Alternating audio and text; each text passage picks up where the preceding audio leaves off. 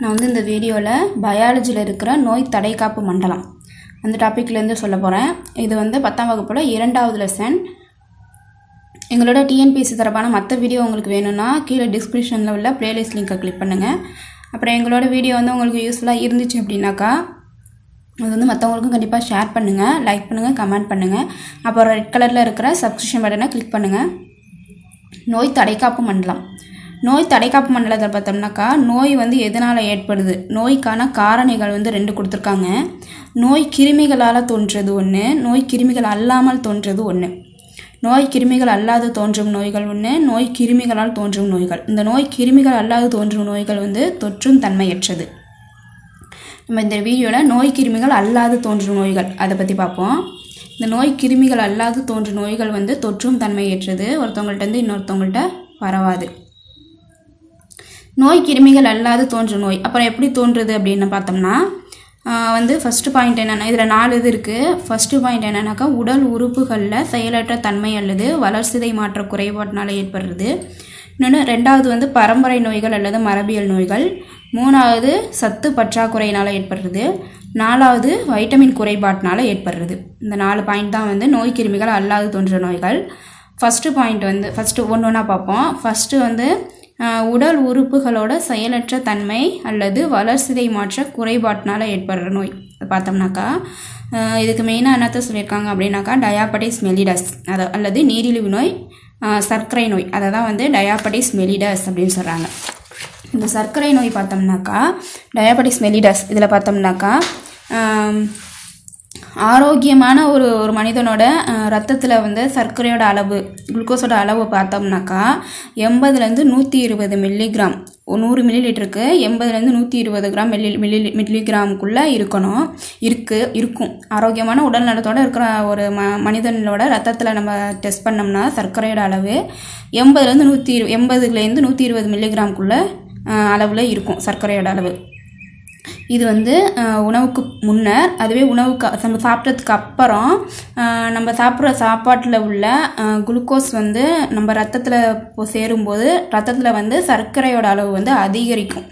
அது அதிகரிக்கும் போது அந்த குளுக்கோஸ் வந்து கிளைக்கோஜனாக மாற்றப்பட்டு நம்ம கல்லீரல் மற்றும் தசைகளில் சேமிக்கப்படும். நம்ம சாப்பிட்டதுக்கு அப்புறம் நம்ம ரத்தத்தில் ஆரோக்கியமான உடல் நலத்தில் இருக்கிற ஒரு மனிதன் எடுத்துக்கிட்டோம்னா அவங்கள்ட்ட நடக்கிற ஃபங்க்ஷன் தான் சொல்கிறேன் நம்ம சாப்பிட்டதுக்கு அப்புறம் அப்புறம் நம்ம சாப்பிட்டதுக்கு அப்புறம் குளுக்கோஸ் ரத்தத்தில் வந்து குளுக்கோஸ் அளவு சர்க்கரையோட அளவு வந்து அதிகரிக்கும். அது அதிகரிக்கும் போது அந்த குளுக்கோஸ் வந்து கிளைக்கோஜனாக மாற்றப்பட்டு கல்லீரல் மற்றும் தசைகளில் சேமிக்கப்படும். கல்லீரல் மற்றும் தசைகளில் சேமிக்கப்படும். அது மறுபடி நம்மளுக்கு எப்போ தேவைப்படுதோ மறுபடியும் அந்த கிளைக்கோஜன் வந்து குளுக்கோஸாக மாற்றப்பட்டு மறுபடியும் வந்து ரத்தத்தில் சேரும். இந்த செயல்பாடெலாம் எ எது பண்ணுது அப்படின்னு பார்த்தோம்னாக்கா நம்ம கணையத்தில் லாங்கர்கான் திட்டுகள் காணப்படும். லாங்கர்கான் திட்டுகளில் ஆல்ஃபா பீட்டா அப்படிங்கிற ரெண்டு செல் காணப்படும். அந்த பீட்டா செல்லில் சுரக்கப்படும் இன்சுலின் அப்படிங்கிற ஹார்மோன் தான் வந்து இந்த வேலையை பார்க்குது.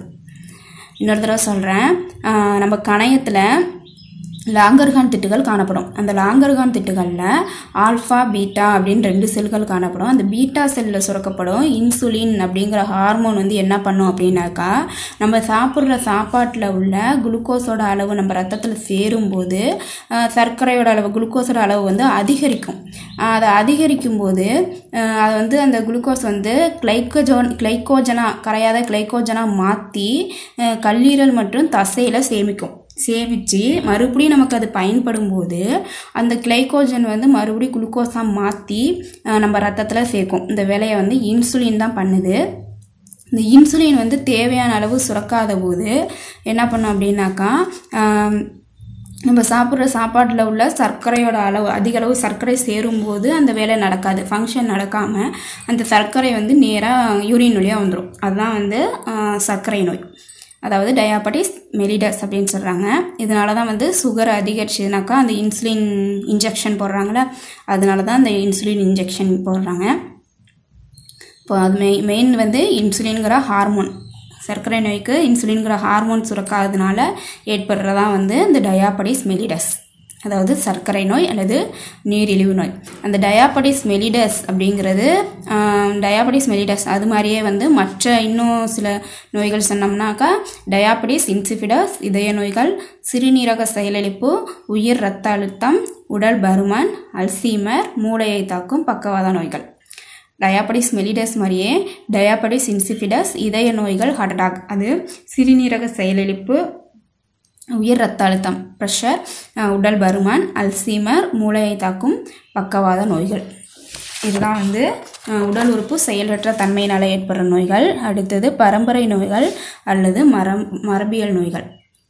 இது வந்து எடுத்துக்கிட்டோம்னாக்கா இது வந்து எதனால் ஏற்படுது அப்படின்னாக்கா திடீர் மாற்றமடைந்த ஜீன்னால் ஏற்படுறது. இதுக்கு உதாரணமாக அல்பினிசம். அல்பினிசம்ங்கிறது உடம்பு உடல் ஃபுல்லாக ஒயிட் ஒயிட்டாக இருக்குவாங்கள தோல் உறிஞ்ச மாதிரி. அதுதான் வந்து அல்பினிசம். இது வந்து பரம்பரை நோய். இதோட அறிகுறி பார்த்தோம்னா ரோமம் கண்களில் தோன்றும் ரோமம் க தோல் ரோமம் கண்களில் மெலானின் என்னும் நிறமி இல்லாதனால தோன்றது தான் வந்து இந்த அல்பினிசம். இது வந்து ஒடுக்கு திடீர் மாற்றமடைந்த ஒழுங்கு ஜீனால் ஒடுங்கு ஜீனால் ஏற்படுது. இந்த அல்பினிசங்கிறது இதுவும் ஒடுக்கமடைந்த ஜீனால் ஏற்படுறது தான் அப்புறமேட்டுக்கு பார்த்தோம்னாக்கா இதுக்கு அறிகுறி வந்து பால் போன்ற வெண்மையான தோடோட நிறம்.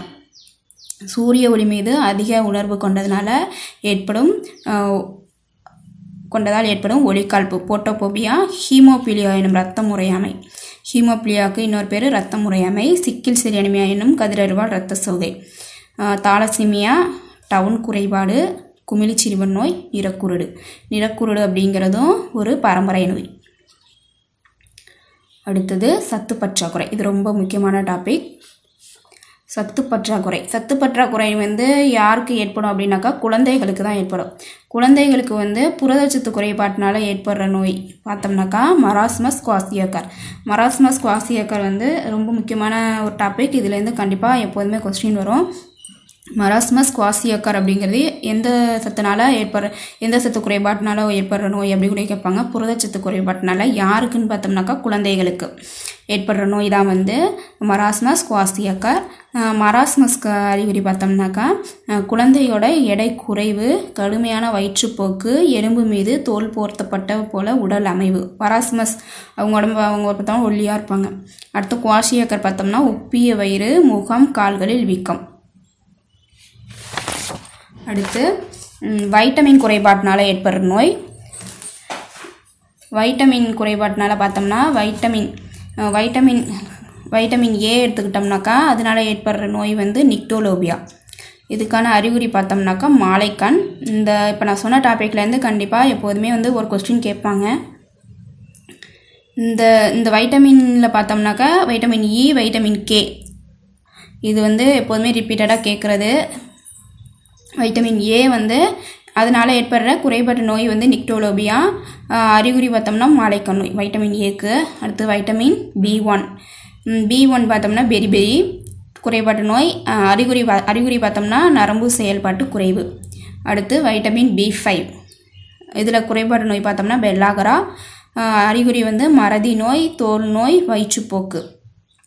அடுத்து vitamin B twelve vitamin B twelve வந்து பெர்சீனியஸ் அனிமியா இரத்த சிவப்பணி சிதைவு. அடுத்து வைட்டமின் சி ஸ்கர்வி ஈறுகளில் ரத்தம் கசிதல் பல் விழுதல் அறிகுறி. அடுத்து வைட்டமின் டி ரிக்கட்ஸ் எலும்புகளில் கால்சியம் குறைபாடு. அடுத்து வைட்டமின் இ இதுக்கு வந்து மலட்டுத்தன்மை இனப்பெருக்க செயல் குறைபாடு. அடுத்து வைட்டமின் கே வைட்டமின் கே வந்து ரத்தம் முறையாமை அதிக ரத்த இழப்பு. அதிக ரத்த இழப்புனாக்கா நம்மளுக்கு எதுவும் காயம் ஏற்பட்டுச்சு அப்படின்னாக்கா அது வந்து ரத்தம் வந்து டக்குன்னு நிற்காது அதிகப்பட்ட ரத்தம் கசிஞ்சுக்கிட்டே இருக்கும். அதுதான் வந்து வைட்டமின் கே குறைபாட்டினால ஏற்படுறதா வந்து ரத்த முறையாமை அதிக ரத்த இழப்பு. இப்போ நான் சொன்ன டாப்பிக்லேருந்து டிஎன்பிஎஸ்சியை பொறுத்த வரைக்கும் கண்டிப்பாக ஒரு கொஸ்டின் வரும். ஸோ நல்லா பார்த்துங்க. எங்களோட டி- எங்களோட வீடியோ உங்களுக்கு யூஸ்ஃபுல்லாக இருக்குது அப்படின்னு நினச்சிங்கன்னா கண்டிப்பாக மற்றவங்களுக்கு ஷேர் பண்ணுங்கள் தேங்க்யூ